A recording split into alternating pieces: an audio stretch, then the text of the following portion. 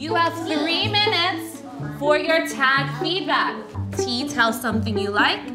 A, ask a question. G, give a suggestion. TAG is our school-wide critique process. It's a very quick, formative way to say, hey, this is what you did great, and here are your next steps.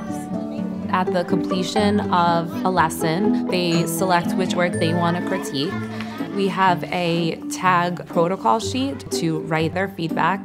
You always want to start with a positive, something that the student did well.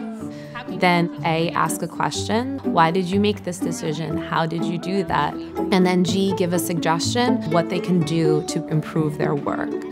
They share out their feedback and their next steps. I like how Sebastian did this guy behind the buildings. When they come in for their next session, they're all ready to go applying feedback.